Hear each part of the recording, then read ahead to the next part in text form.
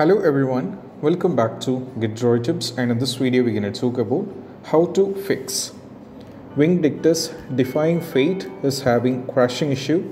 It is not launching or won't launch. Freezing, stuttering, lagging, low FPS drop, stuck or loading screen and even many more issues which is happening for many of these right now and how we can fix this up. So let's dive into the workaround. The first one is all about we have to start with a simple restart. For this we just need to go over here in the start icon, go over here in this particular icon and go for the restart. Once the restart is successfully done, just try launch the game and that will be working fine and this is what we have to do as the first step. Next one is all about after trying with this if the issue is still there you can try following these steps and the second step is all about we have to launch the game from the installation folder. So instead of launching the game from here, we have to launch the game from the installation folder. So I'll be showing you a shortcut where you have you can navigate to the installation folder. So just go over here in the game, right click and go to the properties, go over here in the installed file and just click on the browse.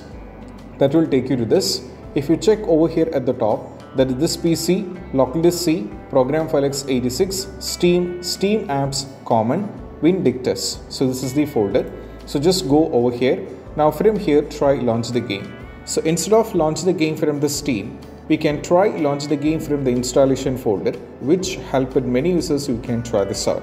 Apart from this, hence within the installation folder, you can try two more steps and one among them is all about we have to run the game as an administrator. Just go over here in the application, right click, go to the show more options and go to the properties go over here in the compatibility click on run this program as administrator. Go for apply and go for ok once it is also done just click on run the program run this program in the compatibility mode. You can also set this to windows 7 and go for apply or you can set this to windows 8 and go for apply as well. So once you're done with this one just close this over here and still if you're having the trouble you can try moving to the third step. Third step is all about launch the game and press Alt and Tab from the keyboard. I don't know how this is related, but even it worked for many users in my knowledge and it helped them so we can try this out. Just hit on the play button and press Alt and Tab from the keyboard. And after trying with this, if the issue is still there, you can try moving to the next one. That is all about we have to set the date, time and region is correct, which is very important. So just go over here, go over here in the settings. Now from here navigate to the time and language go for the date and time make sure time zone automatically and time automatically and all these three things should be turned on. Now just go back go to the language and region. Now from here make sure the uh, geography. I mean you have to select the country according to geography. If you're from united states you have to select united states. If you're from united kingdom you have to select united kingdom. In the same way we have to do this. Once everything has been set up just close everything and we have to go back and try launch the game Next one is all about nothing but what we need to do is we just need to delete the saved game file. So it is quite important that we have to just go over here in the file explorer.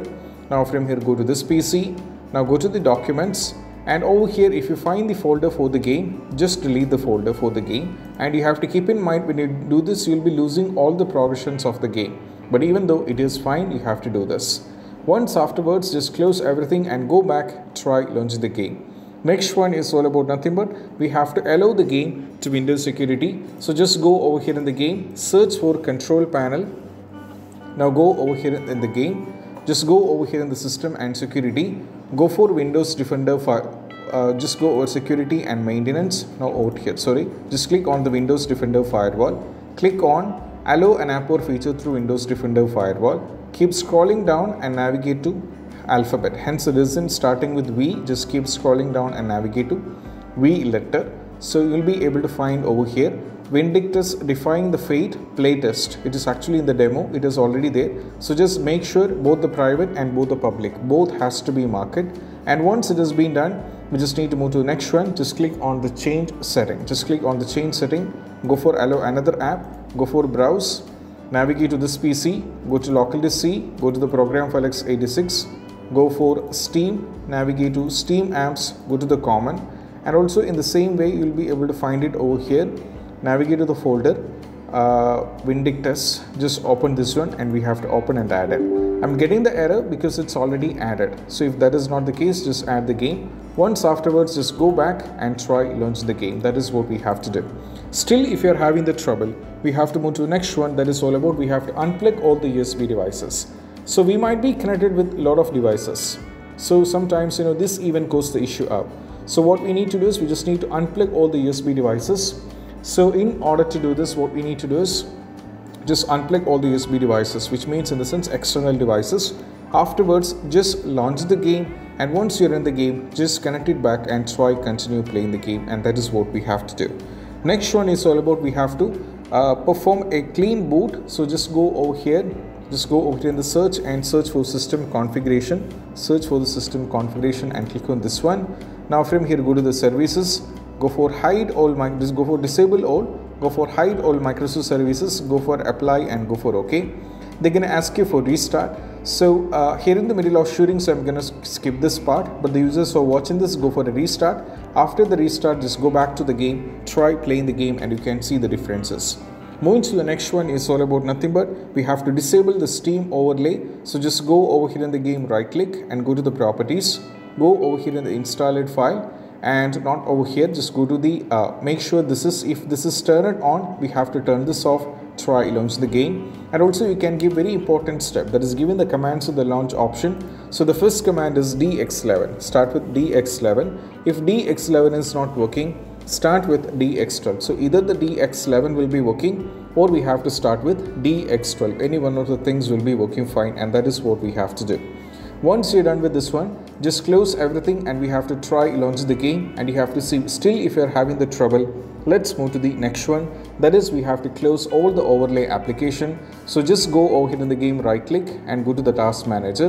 Now from here as you can see if there are a lot of things running in the background, we have to remove the unwanted things. So whenever you're launching these kind of games, simultaneously these things are running in the background. That is why we are having the crashing issue. So just unplug everything i mean remove and everything from here. Once afterwards just close everything and we have to go back try launching the game.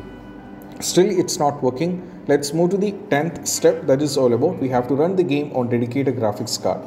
So just go over here in the search. Search for graphics settings. Just click on the graphics settings now from here we have to as you can see that i have already added many games in the same way we have to add the game just click on the browse now just navigate to this PC, go to localdisk C, go to the program file x86, go for Steam, navigate to Steam apps, go to common.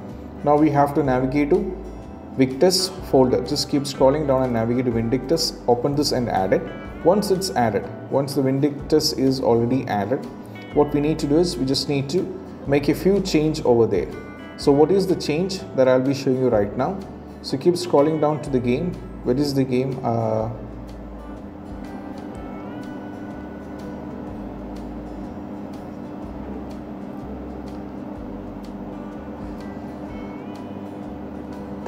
so I'll do one thing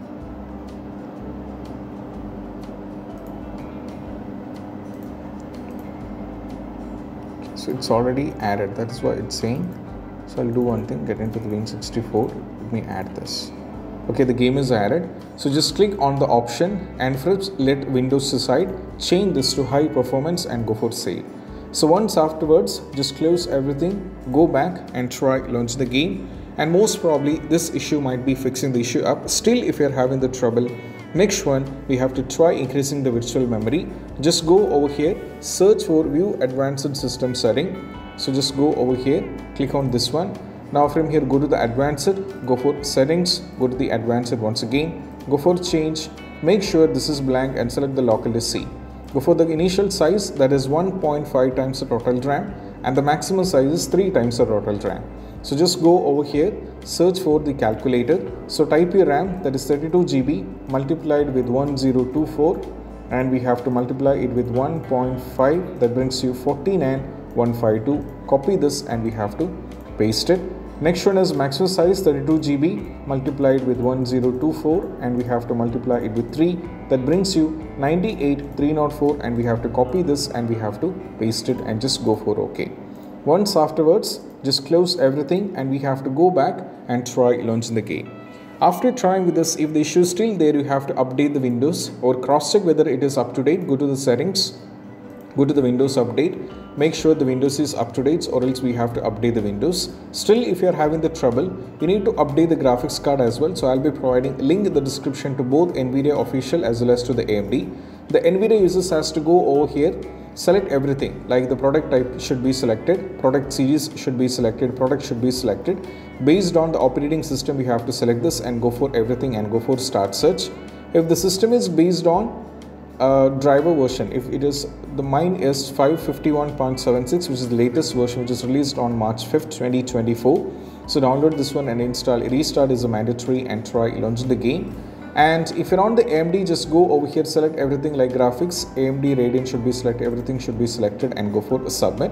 If you're on Windows 11 download this one.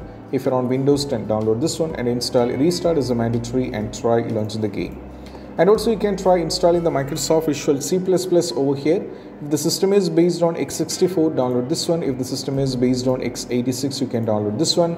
Install. After trying with this if the issue is still there you can try uninstall and reinstall the game. Just go over here and to manage and uninstall the game. For reinstalling it back you have to do the same. And keep in mind you should not be installing it back on the same local disk. You have to try a new local disk. Still if you are having the trouble by this try verify integrity of game file just go within the game right click and go to the properties. Go for installed file and just click on the verify integrity of game file.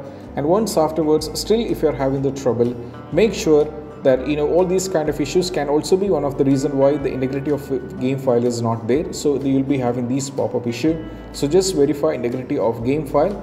Afterwards what you need to do is just do everything like this that afterwards once it reach 100 percentage most probably this will be completely fixed so we just need to wait this to reach 100 percentage and i'll be showing you what you have to do next so once as you can see you got a message which state that all the files are successfully validated and once afterwards what you need to do is you just need to close everything over here and try launch the game and that will be working fine so these possible workarounds can be done and I hope this video is helpful and if you find this video helpful don't forget to subscribe and click on the bell icon for more notification. See you soon in the next video. Peace out. Bye bye.